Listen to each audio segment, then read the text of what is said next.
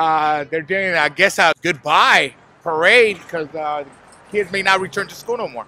Message us through a phone call and through emails that we communicate with the school, and uh, they let us know that uh, they're going to be doing a parade. So I think it's a Go Wizards! So it's like a goodbye for the teachers, because most likely they're not going to return to school this year.